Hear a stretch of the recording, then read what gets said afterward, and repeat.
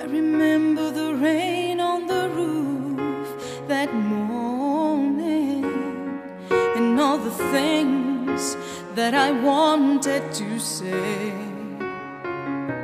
The angry words that came from nowhere without warning that stole the moment and sent me away.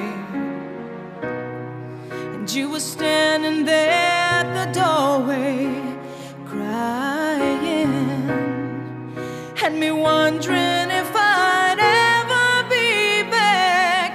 I said I didn't come here to leave you.